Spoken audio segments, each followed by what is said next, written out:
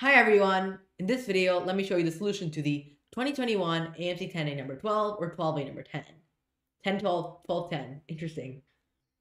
Two right circular cones with vertices facing down as shown in the figure below contain the same amount of liquid. The radii of the tops of the liquid surfaces are 3 and 6. Into each cone is dropped a spherical marble of radius 1 centimeters which sinks into the bottom and is completely submerged without spilling any liquid. What's the ratio of the liquid level? The narrow cone, that's horizon, and the liquid level in the wide cone. So basically, you're basically when you put something, let's just take a look at any generic cone. Before we take a look at that, let's take a look at our two current cones. The information we're given that the volumes are equal, the volumes of the gray area. So if the volumes are equal, what do we know? Well, let's say the height of this cone is h. Then the volume of the cone to the right is just going to be equal to 1 third times 6 squared pi times h, which is just going to be equal to 12 pi h, right?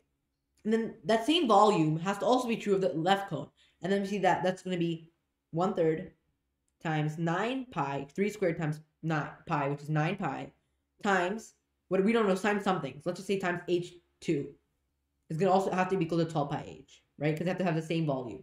And then what we can do is we can cancel out, see that, cancel from here, we get 4h is equal to h2. So this h2 is actually just going to be 4h. From here, what do we do? So now let's look at the condition of we're dropping some spherical marble into this. So when we drop something, if you ever, like imagine if you have a glass and then you drop something, some object into it, what's gonna happen? The water level is gonna rise. So in this case, we have a cone. We're dropped, let's say we have a cone, and then let's say it's filled till here. Let's say it's originally filled till only the red line. And then we drop something in it that's causing more volume to come to the top. So we're causing, the, let's say the water level to rise till here maybe, right? So we're just causing the water level to rise. So let's say the radius of this is r. The, let's these different variables actually. Let's say this big R and let's say big big H. So we see that when we when we make that water level rise, we're causing this new height. Let's say H big H2. We see that the new height, the proportion of the new height H2 to R2 will have to equal to the proportion of the original height because by similar triangles. Because we know that by similar triangles, these two these two sides are parallel, so the triangles are similar. These two triangles are similar. And this one. Since the two triangles are similar, we know these ratios have to be true. And from here, we can see that the rise in the height, we can see that the right, the height will rise from h to h2. So the height will rise, but if the original height is h, the new height will now be h2 minus h, right?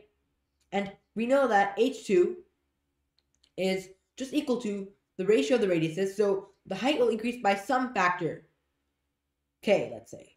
So let's just say that the height increases by some factor k. So that means that let's say that h2 is equal to k times the height h, right? So if the height is increasing by a factor of h, what does that tell us? Well, that means the increase in the height, h2 minus h, like I was writing earlier, is just going to be equal to k minus 1 times h because h2 is k times h and h is 1 times h. So we subtract them, we get k minus 1 times h. The difference in height is going to be some constant times the height. So basically you're saying that, what I'm saying is that by increasing the height, the increase in the height is going to be proportional to the original height. So in this case, we have the original height being 4h. So the increase in height is going to be proportional to 4h. And it's going to be the same proportional to 4h as the increase in height is to h. So let's say it increases to some factor, it's going to be, the increase is going to be four times bigger since the original height is four times bigger. So therefore the increase is just going to have a ratio of 4 to 1, and that's the answer. And this is actually a really trolly problem on the contest because many people got confused with the intuitiveness of this actually of the problem. So the key thing to remember here is that be, be very careful that the ratios of your radiuses and heights are the same by similar triangles. We discussed this technique back in the AMC Math Pounds class, if you remember. So we discussed that the ratio of the radius to the height is going to be the same when we increase the, when we increase the volume by the same factor because you cannot increase the height by a larger factor than the radius can. So that was the key thing to notice here. From there, it should be intuitively obvious that it's going to be four times bigger since the original height is four times bigger. That was the key idea for the problem. Thank you for watching this video. Hope to see you all next time.